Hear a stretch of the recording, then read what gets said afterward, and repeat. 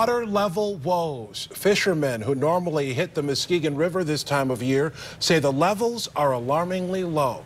Some are pointing the finger at Consumers Energy, saying that the company is holding water above the Croton Dam. Anglers say the lower levels mean high water temperatures and fewer fish.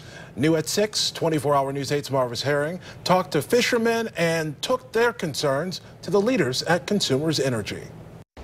Fishermen aren't the only ones noticing the lower river levels. Some canoers who are out here today tell us they got stuck in spots. And one man from this area remembers his childhood jumping from this bridge into the river. That's not possible today, but Consumers Energy says they're not to blame. We hit hard when we hit that gravel. Steve Howe abruptly found out how low the Muskegon River was near the Bridgeton boat launch this week when his jet boat got stuck in the shallow water. Fishing was good, but on the way out, we got on a gravel bar that normally I blow through no problem, and we got we got hung up. These photos from people living along the river clearly illustrate the low levels. But it doesn't happen like this every summer. Workers at the Muskegon River Fly Shop are not just noticing the water height. The biggest problem is the warm water is not good for trout. Charlie Atkinson points out the cubic feet per second or volume of water passing through that area dropped from about 1500 CFS to 800 in one week.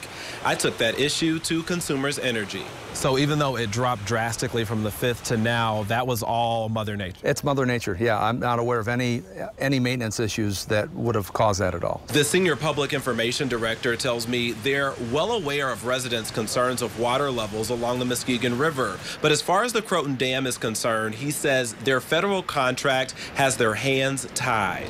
We have to only pass the water that comes to the dam.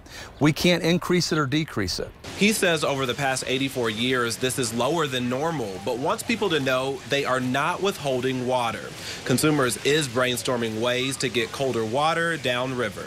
We are looking to see whether we can use that bubbler system even while we spill so we can be spilling cooler water. It's a tough act for consumers. Uh, it's a tough act for the people here. This town depends on the Muskegon River fishery.